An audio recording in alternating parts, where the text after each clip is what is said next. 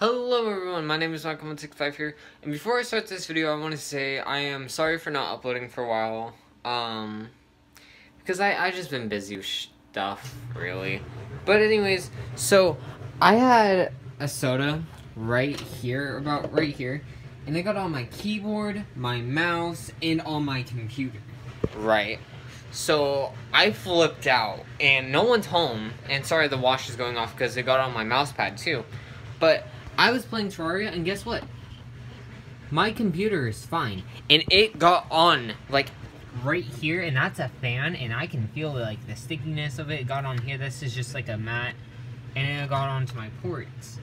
And this is my Wi-Fi card, and that's still working, and that's my headset. I don't know if my headset's okay or not, but let's just hope it is. But, whew, everything is okay. I'm pretty happy about that and thank thankful because I could have just lost everything. Anyways, you'll see some content coming out soon. Um, I haven't really done a lot because Thanksgiving break. I've been busy hanging out with family.